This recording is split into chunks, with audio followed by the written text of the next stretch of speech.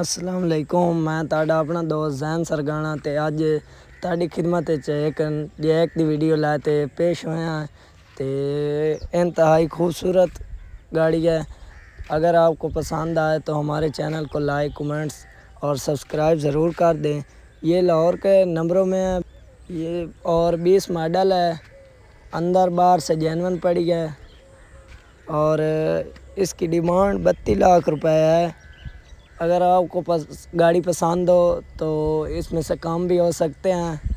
और हम आपको इस वीडियो में अपना नंबर शेयर कर देते हैं। अगर किसी भाई ने लेनी हो तो हमसे रबता कर सकता है।